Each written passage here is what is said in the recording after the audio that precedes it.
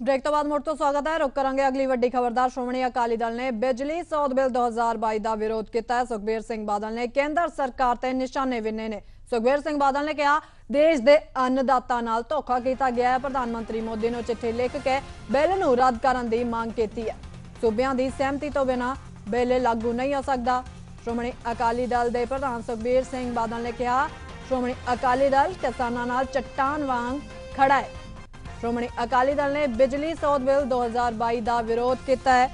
ਦੱਸ ਦਈਏ, ਅੱਜ ਸੰਸਦ ਵਿੱਚ ਪੇਸ਼ ਕੀਤਾ ਗਿਆ, ਲੋਕ ਸਭਾ ਵਿੱਚ ਪੇਸ਼ ਕੀਤਾ ਗਿਆ ਬਿਜਲੀ ਸੌਦ ਬਿੱਲ 2022 ਸੁਖਬੀਰ ਸਿੰਘ ਬਾਦਲ ਨੇ ਕੇਂਦਰ ਸਰਕਾਰ ਤੇ ਇਸ ਨੂੰ ਲੈ ਕੇ ਨਿਸ਼ਾਨੇ ਵਿੰਨੇ ਨੇ ਉਹਨਾਂ ਕਿਹਾ, ਦੇਸ਼ ਦੇ ਅੰਨਦਾਤਾ ਨਾਲ ਧੋਖਾ ਕੀਤਾ ਗਿਆ ਪ੍ਰਧਾਨ ਮੰਤਰੀ ਮੋਦੀ ਨੂੰ ਚਿੱਠੀ ਲਿਖ ਕੇ ਬਿੱਲ ਨੂੰ ਰੱਦ ਕਰਨ ਦੀ ਮੰਗ ਕੀਤੀ ਗਈ ਹੈ ਤੇ ਸੂਬਿਆਂ ਦੀ ਸਹਿਮਤੀ ਤੋਂ ਬਿਨਾਂ ਇਹ ਬਿੱਲ ਲਾਗੂ ਨਹੀਂ ਹੋ ਸਕਦਾ। ਸ਼੍ਰੋਮਣੀ ਅਕਾਲੀ ਦਲ ਦੇ ਪ੍ਰਧਾਨ ਸੁਖਬੀਰ ਸਿੰਘ ਬਾਦਲ ਦਾ ਕਹਿਣਾ ਹੈ ਕਿ ਪਾਰਟੀ ਕਿਸਾਨਾਂ ਨਾਲ ਚੱਟਾਨ ਵਾਂਗ ਖੜੀ ਹੈ।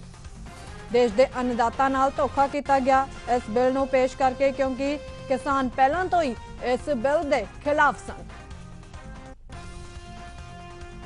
ਪ੍ਰਾਈਮ ਮਿਨਿਸਟਰ ਨੂੰ ਚਿੱਠੀ ਲਿਖੀ ਹੈ ਕਿ ਜਿਹੜਾ ਬਿੱਲ ਹੈ, ਉਹ ਫੈਡਰਲ ਢਾਂਚੇ ਦੇ ਉਲਟ ਹੈ। ਇਲੈਕਟਰੀ ਕਨਕਰੈਂਟ ਲਿਸਟ ਹੈ। ਜਿਹੜੀ ਚੀਜ਼ਾਂ ਕਨਕਰੈਂਟ ਲਿਸਟ ਹੁੰਦੀਆਂ, ਉਹ ਸਟੇਟ ਦੀ ਪਰਮਿਸ਼ਨ ਦੀ ਲੋੜ ਹੁੰਦੀ ਹੈ। ਇੱਥੇ ਲੈ ਨਹੀਂ ਰਹੇ, ਸਿੱਧਾ ਬਿੱਲ ਆ ਰਿਹਾ, so it's unconstitutional Shiromani Akali Dal ਦੇ ਪ੍ਰਧਾਨ ਸੁਖਬੀਰ ਸਿੰਘ ਬਾਦਲ ਨੇ ਬਿਜਲੀ ਸੌਦ ਬਿੱਲ 2022 ਦਾ ਵਿਰੋਧ ਕੀਤਾ ਹੈ। ਕੇਂਦਰ ਸਰਕਾਰ ਤੇ ਨਿਸ਼ਾਨੇ ਵਿੰਨੇ ਨੇ, ਸਿੱਧੇ ਤੌਰ ਤੇ ਕਿਹਾ ਦੇਸ਼ ਦੇ ਅੰਨਦਾਤਾ ਨਾਲ ਧੋਖਾ ਕੀਤਾ ਗਿਆ ਪ੍ਰਧਾਨ ਮੰਤਰੀ ਮੋਦੀ ਨੂੰ ਇਸ ਦੇ ਰਿਗਾਰਡਿੰਗ ਚਿੱਠੀ ਵੀ ਲਿਖੀ ਹੈ। ਤੇ ਬਿੱਲ ਨੂੰ ਰੱਦ ਕਰਨ ਦੀ ਉਸ ਚਿੱਠੀ ਵਿੱਚ ਮੰਗ ਕੀਤੀ ਗਈ ਹੈ। ਸ਼੍ਰੋਮਣੀ ਅਕਾਲੀ ਦਲ ਦੇ ਪ੍ਰਧਾਨ ਨੇ ਕਿਹਾ, ਸੂਬਿਆਂ ਦੀ ਸਹਿਮਤੀ ਤੋਂ ਬਿਨਾਂ ਬਿੱਲ ਲਾਗੂ ਨਹੀਂ ਹੋ ਸਕਦਾ। ਸ਼੍ਰੋਮਣੀ ਅਕਾਲੀ ਦਲ ਕਿਸਾਨਾਂ ਨਾਲ ਚੱਟਾਨ ਵਾਂਗ ਖੜਾ ਹੈ। ਕਿਸਾਨ ਪਹਿਲਾਂ ਤੋਂ ਹੀ ਇਸ ਬਿੱਲ ਦੇ ਖਿਲਾਫ ਸਨ ਤੇ ਜਦੋਂ ਦਿੱਲੀ ਵਿੱਚ ਧਰਨਾ ਖਤਮ ਕੀਤਾ ਗਿਆ, ਕਿਸਾਨਾਂ ਦੇ ਵੱਲੋਂ ਕੇਂਦਰ ਸਰਕਾਰ ਵੱਲੋਂ ਭਰੋਸਾ ਦਿੱਤਾ ਗਿਆ ਸੀ। ਇਹ ਮੰਗ ਮੰਨਣ ਦਾ ਕਿ ਇਸ ਤਰ੍ਹਾਂ ਦਾ ਕੋਈ ਬਿੱਲ ਨਹੀਂ ਲਿਆਂਦਾ ਜਾਵੇਗਾ, ਪਰ ਅੱਜ ਇਹ ਬਿੱਲ ਲੋਕ ਸਭਾ ਵਿੱਚ ਪੇਸ਼ ਕੀਤਾ ਗਿਆ, ਜਿਸ ਤੋਂ ਬਾਅਦ ਸਿਆਸਤ ਲਗਾਤਾਰ ਭਖੀ ਹੋਈ ਹੈ।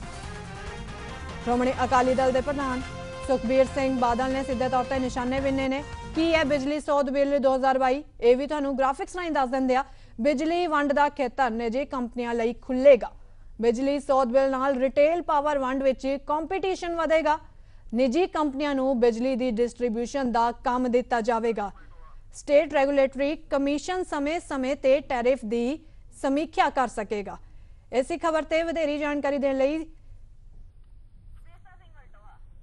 ਅਹ ਸ਼੍ਰੋਮਣੀ ਅਕਾਲੀ ਦਲ ਦੇ ਸੀਨੀਅਰ ਆਗੂ ਵਿਰਸਾ ਸਿੰਘ ਵਲਟੋਹਾ ਸਾਡੇ ਨਾਲ ਜੁੜ ਗਏ ਨੇ ਵਲਟੋਹਾ ਸਾਹਿਬ ਬਹੁਤ ਸਵਾਗਤ ਪੀਟੀਸੀ ਨਿਊਜ਼ ਤੇ ਮਿਹਰਬਾਨੀ ਜੀ ਥੈਂਕ ਯੂ ਵਲਟੋਹਾ ਸਾਹਿਬ ਕਿਵੇਂ ਦੇਖਦੇ ਹੋ ਬਿਜਲੀ ਸੋਧ ਬਿੱਲ ਅੱਜ ਲੋਕ ਸਭਾ ਵਿੱਚ ਪੇਸ਼ ਕਰ ਦਿੱਤਾ ਗਿਆ ਹੈ ਤੇ ਕਿਸਾਨ ਪਹਿਲਾਂ ਤੋਂ ਹੀ ਇਸ ਬਿੱਲ ਦਾ ਵਿਰੋਧ ਕਰ ਰਹੇ ਸਨ। ਜੀ। ਆ ਦੇਖੋ ਜੀ ਮੇਰੇ ਖਿਆਲ ਹੈ ਕਿ ਜਿੱਥੇ ਤੱਕ ਕਿਸਾਨ ਵਿਰੋਧ ਕਰਦੇ ਸੀ ਉਹ ਤਾਂ ਹੈ ਹੀ ਹੈ ਔਰ ਜਿਹੜੀ ਕੇਂਦਰ ਸਰਕਾਰ ਉਹਨੇ ਵੀ ਕਮਿਟਮੈਂਟ ਕੀਤੀ ਸੀ ਕਿ ਕਿਸਾਨਾਂ ਦੀ ਸਹਿਮਤੀ ਦੇ ਨਾਲ ਹੀ ਅਜਿਹਾ ਬਿੱਲ ਜਿਹੜਾ ਹੈ ਪਾਰਲੀਮੈਂਟ ਵਿੱਚ ਲਿਆਂਦਾ ਜਾਵੇਗਾ। ਉਹਦੇ ਵਿੱਚ ਜਿਹੜੀਆਂ ਪਾਰਲੀਮੈਂਟ ਵਿੱਚ ਲਿਆਉਣ ਤੋਂ ਪਹਿਲਾਂ ਜਿਹੜੀਆਂ ਲੋੜੀਂਦੀਆਂ ਸੋਧਾਂ ਨੇ ਉਹ ਕਰ ਲਈਆਂ ਜਾਣਗੀਆਂ। ਪਰ ਹੈਰਾਨੀ ਦੀ ਗੱਲ ਕਿ ਨਾ ਤੇ ਕਿਸਾਨਾਂ ਨੂੰ ਪੁੱਛਿਆ ਗਿਆ ਹੈ ਨਾ ਸੰਬੰਧਿਤ ਲੋਕਾਂ ਨੂੰ ਪੁੱਛਿਆ ਗਿਆ ਹੈ ਔਰ ਬਿੱਲ ਜਿਹੜਾ ਆ ਟੇਬਲ ਕਰ ਦਿੱਤਾ ਗਿਆ ਪਾਰਲੀਮੈਂਟ ਦੇ ਵਿੱਚ ਅਹ, ਪੇਸ਼ ਕਰ ਦਿੱਤਾ ਗਿਆ ਹੈ ਔਰ ਸਰ ਸੁਖਬੀਰ ਸਿੰਘ ਬਾਦਲ ਹੋਰਾਂ ਨੇ ਵੀ ਇਹ ਪ੍ਰਾਈਮ ਮਿਨਿਸਟਰ ਨੂੰ ਚਿੱਠੀ ਲਿਖ ਕੇ ਔਰ ਬੀਬਾ ਹਰਸਿਮਰਤ ਕੌਰ ਬਾਦਲ ਹੋਰਾਂ ਨੇ ਬੜੀ ਬੁਲੰਦ ਆਵਾਜ਼ ਦੇ ਵਿੱਚ ਇਹ ਆਵਾਜ਼ ਉਠਾਈ ਹੈ ਕਿ ਇਹ ਜਿਹੜਾ ਕਿ ਜਿਹੜਾ ਬਿੱਲ ਹੈ ਇਹ ਸਟੈਂਡਿੰਗ ਕਮੇਟੀ ਨੂੰ ਭੇਜ ਦਿੱਤਾ ਜਾਵੇ ਫਿਲਹਾਲ। ਕਿ ਤਾਂ ਕਿ ਕਿਸੇ ਨਾ ਕਿਸੇ ਤਰੀਕੇ ਨਾਲ ਰੁਕ ਜਾਵੇ ਔਰ ਜਿਹੜੀਆਂ ਸੰਬੰਧਿਤ ਸੋਧਾਂ ਨੇ ਉਹਦੇ ਵਿੱਚ ਹੋ ਸਕਣ। ਅਹ ਲੋੜੀਂਦੀਆਂ ਸੋਧਾਂ ਜਿਹੜੀਆਂ ਜਿਹੜੇ ਕਿਸਾਨ ਭਾਈਚਾਰਾ ਚਾਹੁੰਦੇ ਨੇ ਜਾਂ ਜਿਹੜੇ ਪੰਜਾਬ ਦੇ ਲੋਕ ਚਾਹੁੰਦੇ ਨੇ ਜਾਂ ਜਿਹੜੇ ਹੋਰ ਸੰਬੰਧਿਤ ਲੋਕ ਚਾਹੁੰਦੇ ਨੇ ਪਰ ਜੇਕਰ ਉਹਨੂੰ ਅਹ, ਪੇਸ਼ ਕਰ ਦਿੱਤਾ ਗਿਆ ਹੈ ਤੇ ਪਾਸ ਕਰਨ ਵਾਲੇ ਪਾਸੇ ਤੁਰਿਆ ਜਾ ਰਿਹਾ ਹੈ ਤੇ ਇਸ ਤੋਂ ਮਾੜੀ ਗੱਲ ਕੋਈ ਨਹੀਂ ਹੋ ਸਕਦੀ ਇਹ ਬਹੁਤ ਵੱਡੀ ਬੇਇਨਸਾਫੀ ਹੈ। ਵਲਟੋਹਾ ਸਾਹਿਬ ਇਹ ਜੋ ਬਿੱਲ ਅੱਜ ਪੇਸ਼ ਕੀਤਾ ਗਿਆ ਬਹੁਤ ਹੀ ਹੰਗਾਮੇ ਦੌਰਾਨ ਇਹ ਪੇਸ਼ ਕੀਤਾ ਗਿਆ। ਵਿਰੋਧੀ ਧਿਰ ਦੇ ਜੋ ਵੀ ਸਾਂਸਦ ਸਨ ਵੱਖ-ਵੱਖ ਸੂਬਿਆਂ ਤੋਂ ਸਾਰਿਆਂ ਨੇ ਇਸ ਬਿੱਲ ਦਾ ਵਿਰੋਧ ਕੀਤਾ। ਨਹੀਂ ਕੋਈ ਡਰਾਵਾ ਨਹੀਂ ਹੈ ਜੀ। ਪਤਾ ਨਹੀਂ ਕਿਉਂ ਜਿਹੜੀ ਕੇਂਦਰ ਸਰਕਾਰ ਹੈ ਜਾਂ ਭਾਰਤੀ ਜਨਤਾ ਪਾਰਟੀ ਦੀ ਸਰਕਾਰ ਹੈ ਕਿਉਂ ਬਜ਼ੇਦਾ ਹੈ।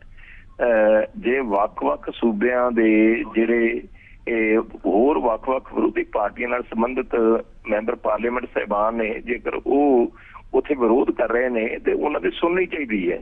ਉਹ ਉਹਨਾਂ ਦੇ ਵਿਰੋਧ ਨੂੰ ਵਿਚਾਰਨਾ ਚਾਹੀਦਾ ਆ। ਉਹ ਉਹਨਾਂ ਦੇ ਵੱਲੋਂ ਆਏ ਹੋਏ ਸੁਝਾਵਾਂ ਨੂੰ ਸਰਕਾਰ ਨੂੰ ਸੁਣ ਕੇ ਉੱਤੇ ਇਹ- ਇਹ- ਫਿਰ ਉਸ ਤੋਂ ਬਾਅਦ ਫੈਸਲਾ ਲੈਣਾ ਚਾਹੀਦਾ ਹੈ। ਇਹੀ ਤੇ ਪਾਰਲੀਮੈਂਟ ਦਾ ਅਹ, ਸਾਡਾ ਡੈਕੋਰਮ ਹੈ ਜਾਂ ਸਾਡਾ ਕਹ ਲਈਏ ਕਿ ਇਹ- ਇਹ- ਇਹੀ ਤੇ ਸਾਡੀ ਇੱਕ ਤਰ੍ਹਾਂ ਦਾ ਡੈਮੋਕ੍ਰੇਸੀ ਦਾ ਖੂਬਸੂਰਤ ਹਿੱਸਾ ਆ। ਕਿ ਉੱਥੇ ਬੈਠ ਕੇ ਜਦੋਂ ਅਹ, ਸਾਰੀਆਂ ਧਿਰਾਂ ਵਿਚਾਰ ਕਰਦੀਆਂ ਨੇ ਉਹਦੇ ਵਿੱਚੋਂ ਨਿਚੋੜ ਨਿਕਲਦਾ ਆ। ਤੇ ਜੇ ਤੁਸੀਂ ਵਿਰੋਧੀ ਧਿਰਾਂ ਦੀ ਸੁਣਨੀ ਨਹੀਂ ਗਈ ਔਰ ਐਡਾ ਅਹਿਮ ਬਿੱਲ ਹੋਵੇ ਤੇ ਫਿਰ- ਫਿਰ ਕਾਹਦੇ ਲਈ ਤੁਸੀਂ ਡਰਾਮਾ ਕਰਦੇ ਜੀ? ਵਲਟੋਆ ਸਾਹਿਬ ਸਿਆਸੀ ਆਗੂਆਂ ਵੱਲੋਂ ਇਹ ਵੀ ਬਿਆਨ ਸਾਹਮਣੇ ਆ ਰਹੇ ਨੇ ਕਿ ਇਸ ਤਰ੍ਹਾਂ ਦਾ ਬਿੱਲ ਲਿਆ ਕੇ ਫੈਡਰਲ ਢਾਂਚੇ ਨੂੰ ਢਾਹ ਲੱਗ ਰਹੀ ਹੈ। ਇੱਥੇ ਤੱਕ ਸੀਐਮ ਮਾਨ ਨੇ ਵੀ ਕਿਹਾ ਕਿ ਸੂਬਿਆਂ ਨੂੰ ਕਠਪੁਤਲੀ ਨਾ ਸਮਝੇ ਕੇਂਦਰ ਸਰਕਾਰ ਸੜਕ ਤੇ ਲੈ ਕੇ ਸੰਸਦ ਤੱਕ ਸੰਘਰਸ਼ ਕਰਨ ਦੀ ਗੱਲ ਆਖੀ ਹੈ। ਸ਼੍ਰੋਮਣੀ ਅਕਾਲੀ ਦਲ ਦੀ ਕੀ ਰਣਨੀਤੀ ਰਹੇਗੀ? ਤੇ ਦੇਖੋ ਤਾਂ ਗੱਲ ਹੈ ਕਿ ਜਿਹੜਾ ਫੈਡਰਲ ਸਿਸਟਮ ਹੈ ਉਹ ਰਹਿ ਕਿੱਥੇ ਗਿਆ ਹੈ? ਠੀਕ ਹੈ ਨਾ ਜੀ? ਉਹ ਤਾਂ ਕਿਤੇ ਨਜ਼ਰ ਹੀ ਨਹੀਂ ਆਉਂਦਾ। ਔਰ ਫੈਡਰਲ ਸਿਸਟਮ ਨੂੰ ਮਜ਼ਬੂਤ ਕਰਨ ਦੀ ਲੋੜ ਹੈ। ਤੇ ਦਿਨੋਂ ਦਿਨ ਕਮਜ਼ੋਰ ਕੀਤਾ ਜਾ ਰਿਹਾ ਹੈ। ਅੱਗੇ ਰਾਜਾਂ ਦੇ ਅਧਿਕਾਰਾਂ ਦੇ ਉੱਤੇ ਬਹੁਤ ਵੱਡੇ ਰੂਪ ਚ ਡਾਕਾ ਵੱਜ ਚੁੱਕਾ ਹੈ ਔਰ ਸ਼੍ਰੋਮਣੀ ਅਕਾਲੀ ਦਲ 1977 ਤੋਂ ਉਹ 1973 ਤੋਂ ਲੈ ਕੇ ਰਾਜਾਂ ਨੂੰ ਵੱਧ ਅਧਿਕਾਰਾਂ ਦੀ ਗੱਲ ਕਰਦਾ ਹੈ ਔਰ ਇਹਦੀ ਖਾਤਰ ਅਹ, ਸ਼੍ਰੀ ਅਨੰਦਪੁਰ ਸਾਹਿਬ ਦੇ ਮਤੇ ਨੂੰ ਲੈ ਕੇ ਧਰਮਯੁੱਧ ਮੋਰਚਾ ਵੀ ਇਹ ਸ਼੍ਰੋਮਣੀ ਅਕਾਲੀ ਦਲ ਲਾ ਚੁੱਕਾ ਹੈ। ਲੱਖਾਂ ਲੋਕਾਂ ਜੇਲ੍ਹਾਂ 'ਚ ਗਏ ਨੇ ਪਰ ਉਸ ਸਮੇਂ ਭਾਵੇਂ ਜਿੱਥੇ ਕੇਂਦਰੀ ਹਕੂਮਤ ਇੰਦਰਾ ਗਾਂਧੀ ਤੇ ਕਾਂਗਰਸ ਦੀ ਹਕੂਮਤ ਜਿਹੜੀ ਵਿਰੋਧ ਸੀਗੀ, ਪਰ ਉਸ ਸਮੇਂ ਜਿਹੜੀਆਂ ਦੂਸਰੀਆਂ ਪਾਰਟੀਆਂ ਸੀ, ਉਹ ਅਜਿਹਾ ਪ੍ਰਚਾਰ ਉਸ ਮਤੇ ਬਾਰੇ ਕਰ ਦਿੱਤਾ ਗਿਆ ਸੀ, ਅਨੰਦਪੁਰ ਸਾਹਿਬ ਦੇ ਮਤੇ ਬਾਰੇ ਕਿ ਇਹ ਦੇਸ਼ ਵਿਰੋਧੀ ਹੈ ਜੀ ਇਹ ਸੈਂਟਰ ਨੂੰ ਕਮਜ਼ੋਰ ਕਰਨ ਵਾਲਾ ਜੀ। ਅੱਜ ਉਹ ਉਹ ਵੀ ਪਾਰਟੀਆਂ ਜਿਹੜੀਆਂ ਨੇ, ਇਹ ਅਨੰਦਪੁਰ ਸਾਹਿਬ ਦੇ ਮਤੇ ਦੀ ਜਿਹੜੀ ਆ, ਉਹ ਉਹ ਚਾਹੁੰਦੇ ਆ ਕਿ ਉਹ ਉਹ ਜਿਹੜਾ ਆ ਦੇ ਪੂਰੇ ਦੇਸ਼ ਦੇ ਵਿੱਚ ਲਾਗੂ ਹੋਣਾ ਚਾਹੀਦਾ ਹੈ। ਰਾਜਾਂ ਨੂੰ ਵੱਧ ਅਧਿਕਾਰ ਮਿਲਣੇ ਚਾਹੀਦੇ ਹੈ। ਰਾਜ- ਰਾਜਾਂ ਨੂੰ ਵੱਧ ਅਧਿਕਾਰ ਮਿਲਣੇ ਤੇ ਕਿਧਰ ਰਹਿ ਗਏ, ਦਿਨੋ ਦਿਨ ਜਿਹੜੇ ਰਾਜਾਂ ਦੇ ਅਧਿਕਾਰ ਵੀ ਨੇ, ਉਹ ਇੱਕ ਇੱਕ ਕਰਕੇ ਖੋਏ ਜਾ ਰਹੇ ਨੇ। ਇਹ ਬਦਕਿਸਮਤੀ ਹੈ ਸਾਡੇ ਦੇਸ਼ ਦੀ ਔਰ ਸਾਡੇ ਦੇਸ਼ ਨੂੰ ਇਹ ਇਹ ਇਹ ਪਤਾ ਨਹੀਂ ਕਿਉਂ ਕਿ ਕਿਸ ਐਂਗਲ ਤੋਂ ਸੋਚਿਆ ਜਾ ਰਿਹਾ ਕਿ ਸ਼ਾਇਦ ਦੇਸ਼ ਮਜ਼ਬੂਤ ਹੋਊਗਾ, ਪਰ ਇਹਦੇ ਨਾਲ ਦੇਸ਼ ਜਿਹੜਾ ਆ ਕਮਜ਼ੋਰ ਹੋਊਗਾ। ਜੇ ਸਟੇਟਾਂ ਕਮਜ਼ੋਰ ਹੋਣਗੀਆਂ ਤੇ ਦੇਸ਼ ਕਦਾਚਿਤ ਵੀ ਮਜ਼ਬੂਤ ਨਹੀਂ ਹੋ ਸਕਦਾ ਔਰ ਸਟੇਟਾਂ ਨੂੰ ਮਜ਼ਬੂਤ ਕਰਨ ਦੀ ਲੋੜ ਹੈ। ਵਲਟੋਹਾ ਸਾਹਿਬ, ਅਸੀਂ ਕਿਸਾਨ ਆਗੂਆਂ ਨਾਲ ਵੀ ਗੱਲ ਕੀਤੀ ਸੀ। ਉਹਨਾਂ ਨੇ ਕਿਹਾ ਕਿ ਅਸੀਂ ਹੁਣ ਸੰਘਰਸ਼ ਵਿੱਢਾਂਗੇ। ਅਸੀਂ ਪਹਿਲਾਂ ਵੀ ਵੇਖਿਆ ਸੀ ਦਿੱਲੀ ਵਿੱਚ ਕਿਸ ਤਰ੍ਹਾਂ ਕਿਸਾਨ ਪੂਰੇ 1 ਸਾਲ ਤੱਕ ਬੈਠੇ ਸਨ। ਤੇ ਹੁਣ ਵੀ ਜੇਕਰ ਕੇਂਦਰ ਸਰਕਾਰ ਨੇ ਆਪਣਾ ਇਹ ਬਿੱਲ ਵਾਪਸ ਨਾ ਲਿਆ, ਤਾਂ ਕਿਸਾਨ ਤਿਆਰ ਬੈਠੇ ਨੇ ਕਿ ਸ਼੍ਰੋਮਣੀ ਅਕਾਲੀ ਦਲ ਕਿਸਾਨਾਂ ਦਾ ਸਮਰਥਨ ਕਰੇਗਾ? ਬਿਲਕੁਲ ਜੀ ਬਿਲਕੁਲ। ਕਿਉਂ ਨਹੀਂ ਕਰਾਂਗੇ? ਔਰ ਸ਼੍ਰੋਮਣੀ ਅਕਾਲੀ ਦਲ ਆਪਣਾ ਫਰਜ਼ ਸਮਝਦਾ ਹੋਇਆ ਜਿੱਥੇ ਇਹ ਕਿਸਾਨਾਂ ਵੱਲੋਂ ਚੁੱਕੇ ਹੋਏ ਇਸ ਕਦਮ ਦੇ ਵਿੱਚ ਆਪਣੀ ਹਰ ਪੱਖੋਂ ਮਦਦ ਦੇਵੇਗਾ। ਸ਼੍ਰੋਮਣੀ ਅਕਾਲੀ ਦਲ ਵੀ ਆਪਣੀ ਜ਼ਿੰਮੇਵਾਰੀ ਨੂੰ ਸਮਝਦਾ ਹਾਂ ਇਸ ਜ਼ਿੰਮੇਵਾਰੀ ਦੇ ਉੱਤੇ ਪਹਿਰਾ ਦੇਵੇਗਾ ਔਰ ਇਹ- ਇਹ ਇਹ- ਇਹਦੇ ਵਾਸਤੇ ਜੋ ਵੀ ਲੜਾਈ ਲੜਨੀ ਪਵੇਗੀ ਲੜੇਗਾ। ਵਲਟੋਹਾ ਸਾਹਿਬ ਬਹੁਤ ਸ਼ੁਕਰੀਆ। ਪੀਟੀਸੀ ਨਿਊਜ਼ ਦੇ ਨਾਲ ਜੁੜਨ ਦੇ ਲਈ। ਤਾਂ ਇਹ ਸਨ ਸ਼੍ਰੋਮਣੀ ਅਕਾਲੀ ਦਲ ਦੇ ਸੀਨੀਅਰ ਆਗੂ ਵਿਰਸਾ ਸਿੰਘ ਵਲਟੋਹਾ, ਜਿਨ੍ਹਾਂ ਨੇ ਸਾਫ਼ ਤੌਰ ਤੇ ਕਿਹਾ ਕਿ ਕਿਸਾਨਾਂ ਦਾ ਪੂਰਾ ਸਮਰਥਨ ਸ਼੍ਰੋਮਣੀ ਅਕਾਲੀ ਦਲ ਵੱਲੋਂ ਕੀਤਾ ਜਾਵੇਗਾ। ਦਰਅਸਲ, ਅੱਜ ਲੋਕ ਸਭਾ ਵਿੱਚ ਬਿਜਲੀ ਸੋਧ ਬਿੱਲ 2022 ਪੇਸ਼ ਕੀਤਾ ਗਿਆ ਜਿਸ ਤੋਂ ਬਾਅਦ ਸਿਆਸਤ ਲਗਾਤਾਰ ਭੱਗ ਗਈ ਹੈ। ਕਿਸਾਨਾਂ ਵਿੱਚ ਵੀ ਖਾਸਾ ਰੋਸ ਨਜ਼ਰ ਆ ਰਿਹਾ ਹੈ। ਵਿਰੋਧੀ ਧਿਰਾਂ ਦੇ ਸੰਸਦਾਂ ਵੱਲੋਂ ਬਿੱਲ ਦਾ ਜ਼ੋਰਦਾਰ ਵਿਰੋਧ ਕੀਤਾ ਗਿਆ। ਉਸ ਤੋਂ ਬਾਅਦ ਵੀ ਇਹ ਬਿੱਲ ਅੱਜ ਲੋਕ ਸਭਾ ਵਿੱਚ ਪੇਸ਼ ਕਰ ਦਿੱਤਾ ਗਿਆ ਕੇਂਦਰ ਸਰਕਾਰ ਨੂੰ ਬਿੱਲ ਰੱਦ ਕਰਨ ਦੀ ਵਿਰੋਧੀ ਧਿਰਾਂ ਵੱਲੋਂ ਮੰਗ ਕੀਤੀ ਜਾ ਰਹੀ ਹੈ। ਬਿਜਲੀ ਸੋਧ ਬਿੱਲ 2022 ਲੋਕ ਸਭਾ ਵਿੱਚ ਪੇਸ਼ ਕਰ ਦਿੱਤਾ ਗਿਆ ਹੈ। ਕੇਂਦਰੀ ਬਿਜਲੀ ਮੰਤਰੀ ਆਰ ਕੇ ਸਿੰਘ ਨੇ ਇਹ ਬਿੱਲ ਪੇਸ਼ ਕੀਤਾ ਹੈ।